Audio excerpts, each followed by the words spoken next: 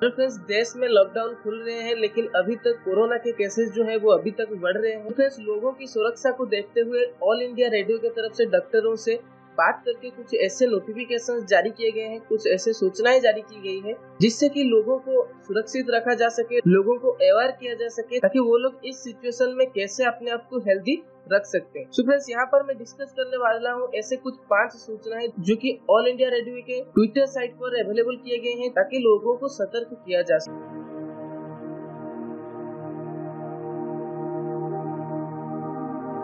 So friends पहली जो सूचना है वो ये है कि एक ही जगह से पानी लेने से वायरस का कितना खतरा होता है। अगर हैंडपंप या किसी नल से पानी भर कर ला रहे हैं तो थोड़ा सतर्क आपको रहना होगा। पानी भरने के बाद हाथ को साबुन से धो ले सोशल डिस्टेंसिंग का पालन करें। हालाँकि गाँव की अपेक्षा शहर में वायरस का खतरा ज़्यादा है। अभी गाँव इस मामले में ठीक है। इसलिए बहुत परेशान ना हो। लेकिन सतर्क रहे, अपना ध्यान रखें और बाकी लोगों को जागरूक करें ताकि गाँव में संक्रमण ना हो।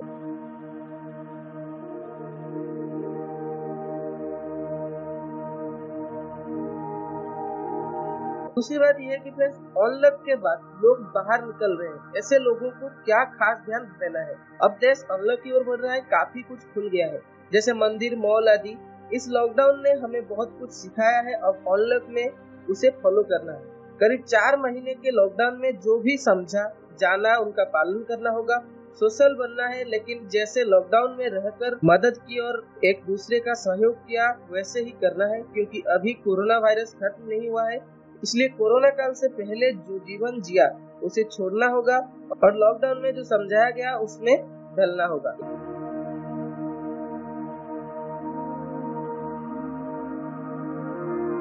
इम्यूनिटी बढ़ाने के लिए खाने पीने में क्या विशेष ध्यान देना चाहिए? आयुष में कई चीज़ों के बारे में खाने की सलाह दी गई है। आयुष मंत्रालय की वेबसाइट पर पाँच पद्धति के अनुसार खाने पीने के बारे में बताया गया है।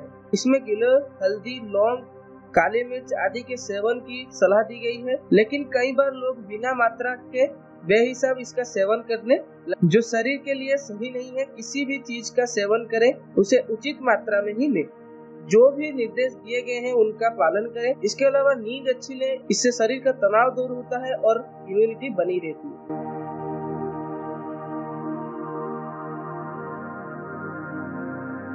आयुष संजीवनी क्या है?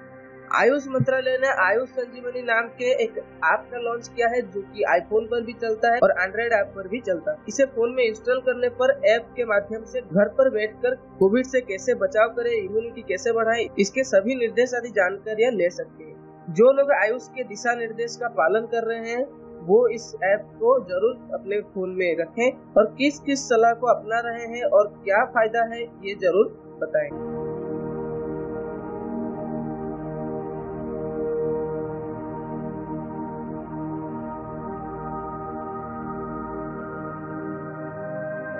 घर में किसी को कोरोना वायरस का संक्रमण हो गया है तो परिवार के लोग क्या सावधानी रखें? अगर किसी में कोरोना वायरस के लक्षण नज़र आते हैं तो पहले जाँच कराएँ।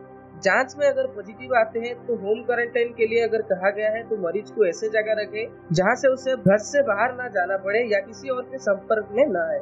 अगर संक्रमण ज़्यादा है, तकलीफ़ बढ़ रही है तो तुरंत अस्पताल जाए। परिवार के लोग भी कुछ दिन सोशल डिस्टेंसिंग का पालन करें और बाहर ना जाए सो फ्रेंड्स ये थी कुछ पाँच इंपोर्टेंट जानकारियाँ जो कि ऑल इंडिया रेडियो की तरफ़ से दी गई है ताकि लोगों को सतर्क किया जा सके, लोग सतर्क रहे और सुस्त रहे। तो फ्रेंड्स ये जो इंस्ट्रक्शन दिए गए हैं, इनका पालन कीजिए और सुस्त रहिए।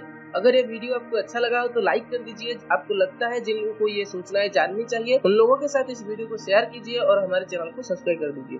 Thank you